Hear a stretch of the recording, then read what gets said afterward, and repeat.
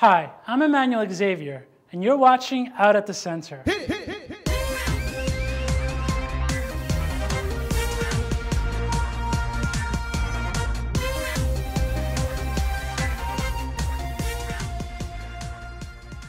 Before leaving the center after 22 years of service to the community, Richard Burns sat down with Bill Goldstein to talk about the evolution of the center during his time here and what has changed in the LGBT liberation movement over the last two decades.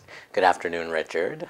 Congratulations on your 22 years at the center. Thank you. You started here in 1986, and now it's 2009, and you're going to be leaving in February. It's hard to believe. 22 years went by very quickly. Looking back to 1986 when you were thinking of coming to the center, I'm curious, what did the center board that existed at that, that time, what did they ask you? 1986 was, uh, life was so different. In, in those early days, there were dances and some volunteer driven cultural programs. And I think what the, the board of directors of the center at that time was looking for was someone who could come in and develop programming, uh, someone who'd had some experience building an LGBT institution. I had been the editor of Boston's Gay Community News, which was an LGBT uh, news weekly, and that was a nonprofit and actually had a staff of 10 people.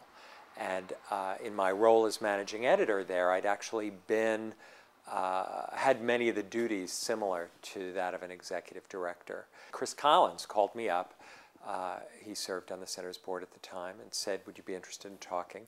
I said no oh, really? the first time. Um, and then they came back about uh, six months later. And I said, well, yeah, sure.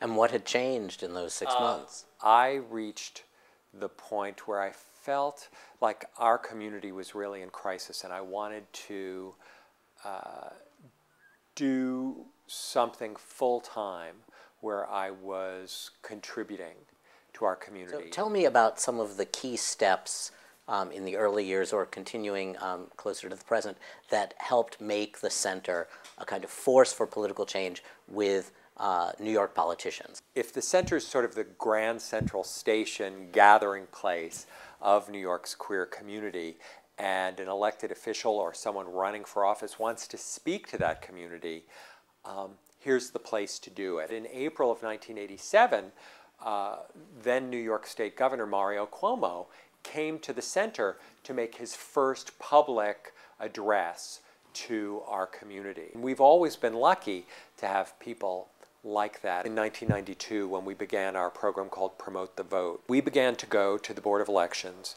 and say, you know, we would like 50,000 voter registration forms. And we would mail them out with our newsletter, Center Happenings, to our entire mailing list. We've just registered 1,000 voters or 2,000 voters.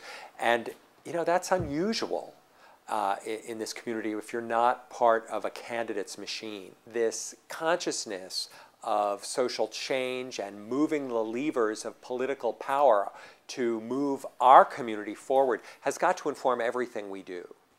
Well, what about this idea of activism and, and political progress, the idea of progress and a progressive gay community? From the very first day of, of the center's existence, it's been the fertile ground in which people in our community could come and organize. We invited Larry Kramer to come speak at the center, and he founded ACT UP. GLAAD, the Gay and Lesbian Alliance Against Defamation, was founded.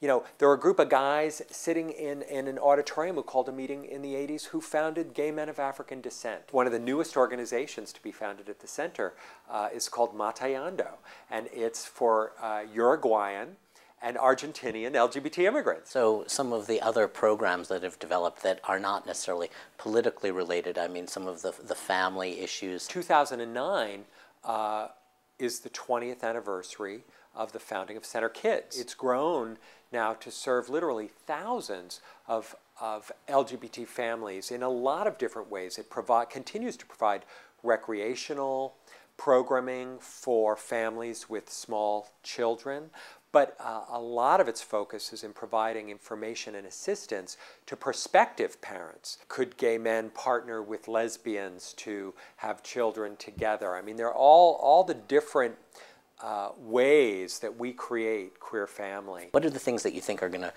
uh, bear fruit in, in, in later years? Certainly, as the world has changed, as we've achieved progress, um, our thinking has changed, my, my, thinking has changed, and, and, and today the progress we've made around marriage equality um, is fantastic and shocking. I think certainly no one expected in our lifetimes that uh, lesbians and gay men would be getting married in Massachusetts and California and Connecticut and, and hopefully soon here in New York State. That as our community grows and changes, the center will always be growing and changing to meet those changing needs. To create the structures that we can use to change the world uh, and make it a safer place for future generations of LGBT people. And that's all for this excerpt from Out at the Center.